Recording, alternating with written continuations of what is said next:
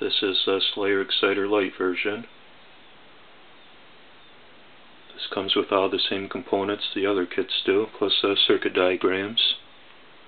Except this one will not come with the extra 5 turn pancake coil or the optional L3 coil.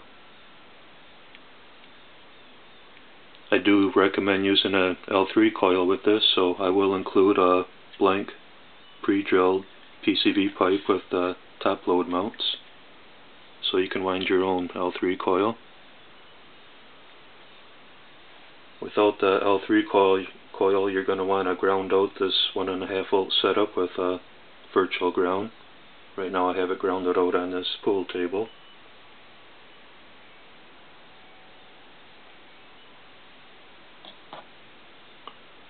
This is a 110 volt neon flicker bulb.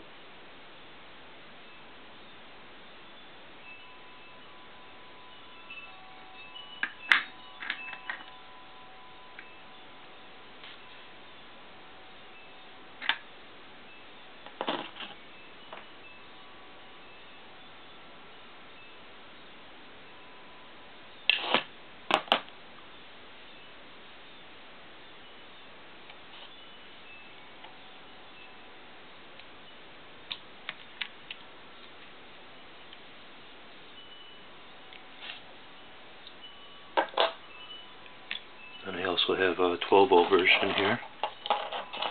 You'll have to tear that one apart and put this one on the breadboard.